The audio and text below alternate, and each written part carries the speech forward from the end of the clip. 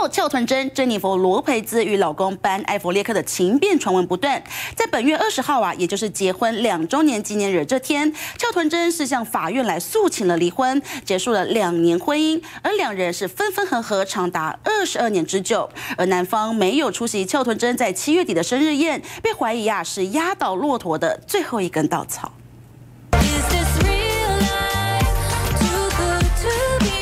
邱屯真今年出的 MV 还在穿婚纱热舞，没想到她在这个月二十号，也就是结婚两周年纪念日的这天，向洛杉矶法院诉请与老公班艾弗列克离婚，正式结束两年婚姻。文件指出，两人在四月底已经分居，没有签婚前协议。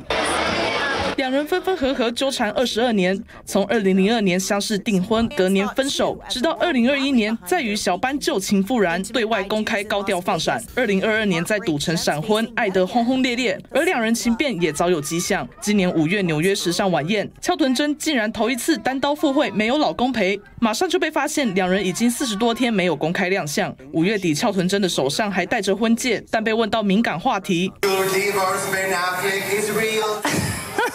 No better than that。这番回答耐人寻味，就连七月底他五十五岁生日宴也不见男方出席，压垮最后一根稻草。同时，两人的爱巢还宣布出售，离婚传闻甚嚣尘上。如今翘臀真心死，终于决定离婚，也传出有可能是因为小班不喜欢珍妮佛罗培兹对恋爱太高调而心生不满，婚姻才走向终结。I've been married four times now. I used to be terrified to be alone. I didn't know what to do by myself. 珍妮佛罗培兹走过四段婚姻，爱得再深还要分开。他表示离婚后会放弃配偶赡养费，并要求法官也拒绝小班的。